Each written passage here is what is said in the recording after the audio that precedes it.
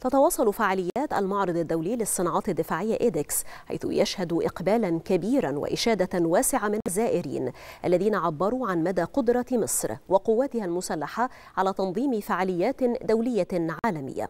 المزيد حول فعاليات معرض إيدكس يطلعنا عليه رامي محمد مراسل التلفزيون المصري.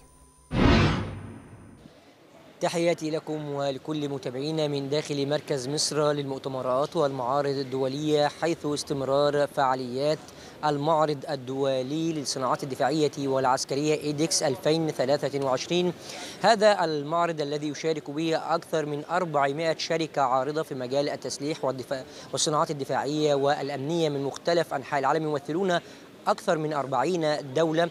هذا المعرض الذي يشهد من خلال فعالياته توقيع لعدد من البروتوكولات واليوم من خلال الكثير من الأجنحة منها الجناح المصري.